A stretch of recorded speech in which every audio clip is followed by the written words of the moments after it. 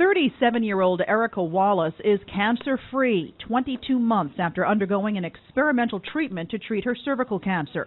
She brought one of her sons to a checkup. He looked at them and said, Thanks for saving my mom. Diagnosed with cervical cancer three years ago, Erica received aggressive chemotherapy and radiation that didn't work. Doctors told her she had a year to live. Now she is one of two cervical cancer patients that has had their tumors go away completely after an immunotherapy study at the National Cancer Institute. Scientists used her tumor to grow T cells, which are part of the immune system and can target the cancer. We grow them up in huge numbers and then give them back to the patients.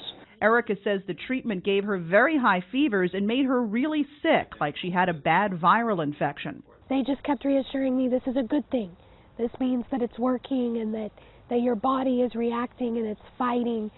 So once they, you know, explained it to me that way, then I could battle through it. We still have to keep an eye on you. Doctors only looked at nine patients and don't know how long the response to the therapy will last. Erica says she doesn't take any day for granted you don't know. You don't know what tomorrow will bring. You don't know what your destiny is. So, you know, you just live every moment to the fullest.